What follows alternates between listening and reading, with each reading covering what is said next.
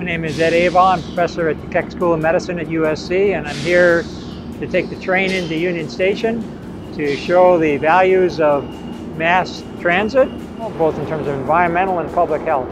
And I'm Alyssa Cano, the Deputy CEO at Metrolink.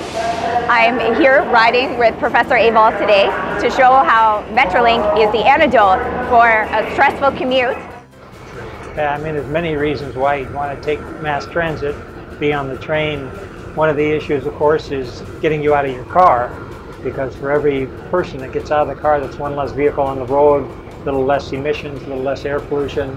But the other issues have to do with your own personal health in, in sort of direct and indirect ways, because we can then do things about relaxing, release of stress, uh, lower your blood pressure, uh, entertain some sort of social interaction.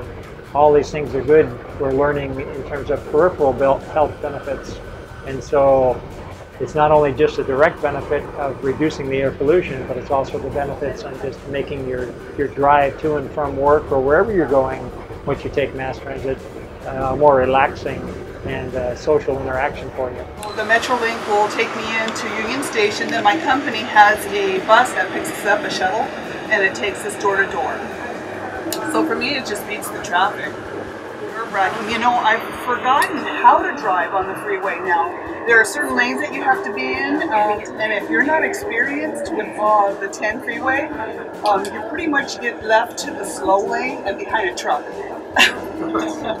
Each year, Metrolink takes about 8.7 million car trips off the road. This is a benefit not only to relieve our congested freeways, but it is also a benefit to air quality. In addition, we're going further in initiating into service uh, this month the cleanest diesel uh, locomotive um, in commuter service. The Tier 4 locomotives reduce emissions by up to 85%.